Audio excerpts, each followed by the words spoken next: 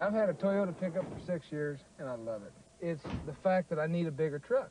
And I told them in my letter that I'd like a, a bigger size truck. They brought it down. They said, here, take a look at this, see what you think. Here it comes. Pretty cool, huh? Hey, guys, come here. At first, you know, I had my doubts that we are all going to get in here comfortably. Roomy, huh? Yeah, it's roomy. Hello, hello, hello. It's roomy.